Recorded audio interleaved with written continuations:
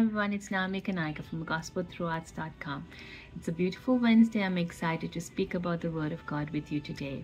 It gives me great pleasure and it's such a privilege to come to you daily as much as I can to speak about the Word of God. Do you know that you and I are privileged?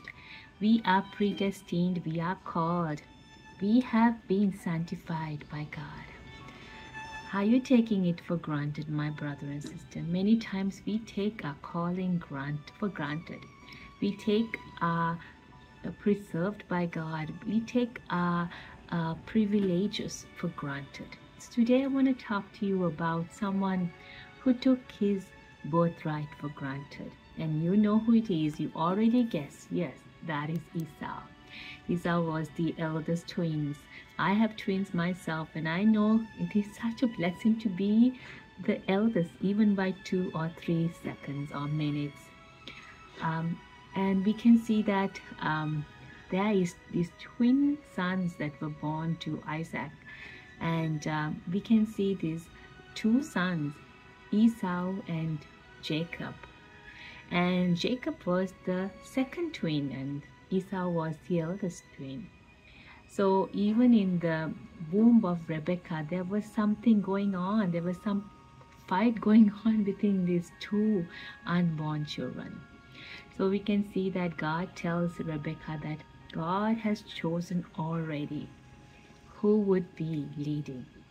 And even though um, uh, Esau is born first, we can see that Jacob holds the brother's leg and and is born. So we can see that Esau has been given skills. He is the eldest twin. So he has great privileges.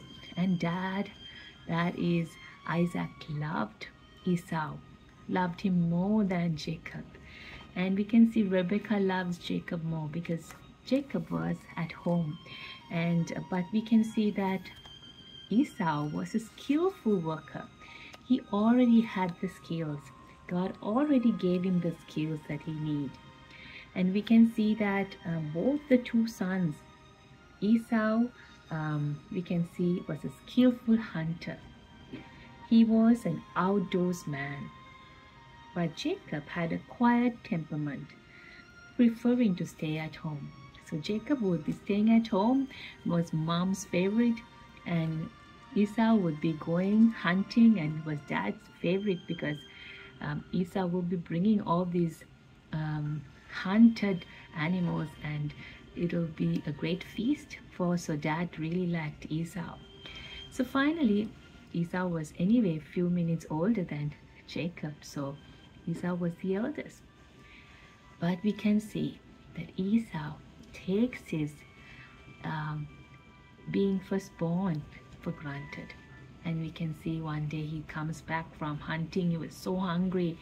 And just for a meal, just for one meal, he himself, he gives his birthright to Jacob. Jacob was so cunning and Jacob says, um, Esau wants a meal, but he's making. And Esau say, uh, Jacob says, make an oath to me that if I give you this food, food, you're going to sell me the right to be the firstborn. We can see that Esau was saying that I prefer this lentil stew, this red lentil stew with bread, more than my birthright. He takes everything for granted. And he says to Jacob, Take my birthright. What is it? What does it matter? I want to first eat. I'm so starving. I'm hungry. I'm going to faint now. I want to eat now more than that. So we can see that he took it for granted. Because he took it for granted, Jacob takes the birthright. Even after eating the meal, Esau is not guilty. Esau is not doesn't care. Esau just walks away. Jacob has taken his firstborn right, birthright. My brother and sister, you and I have been redeemed by God, called by God. We have a purpose and a plan and a birthright. Do we take it for granted? You have been born to the family of God. This is a great privilege that not everyone in the world has. Can you see my sparkle on my eyes? This is the joy that I have to be called by God, to be predestined by God, to be picked by God, chosen by God. God, I'm so grateful that out of all these people, you picked me, you hand picked me, and call me to be a child of God. Do we take it for granted, my brother and sister? Many times we take it for granted. We think it's a privilege, but we think that it is a right and I don't have to worry. I don't have to do anything. I just have easy, free access to heaven. But there are many who don't have these privileges that you and I have access directly to the throne room of God and bring our request to Him, pray our request to Him. This is a great privilege.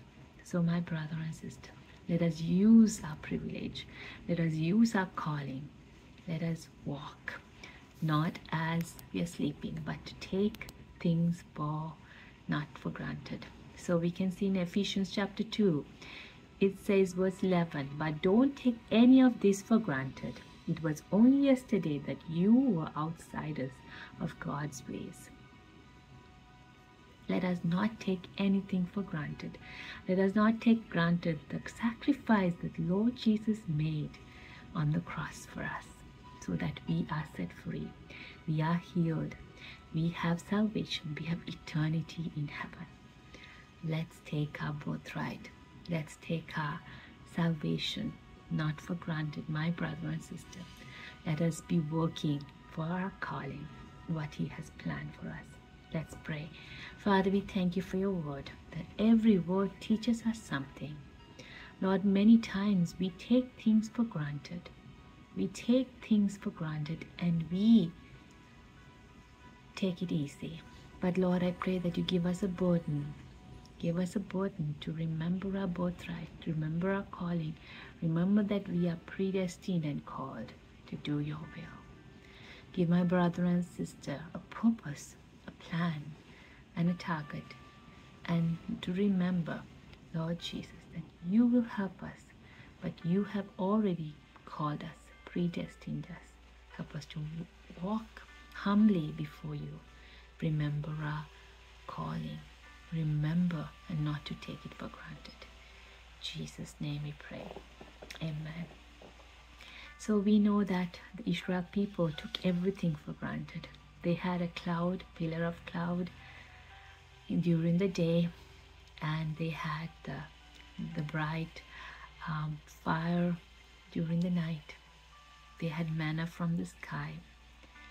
They had everything, the water that they need. They had everything, their shoes and their clothes didn't decay. They were able, they were everything was provided for them.